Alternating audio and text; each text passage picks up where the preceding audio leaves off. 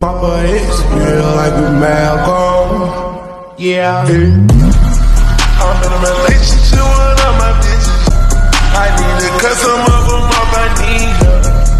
I got some bad things I want them to myself. Gotta take the time to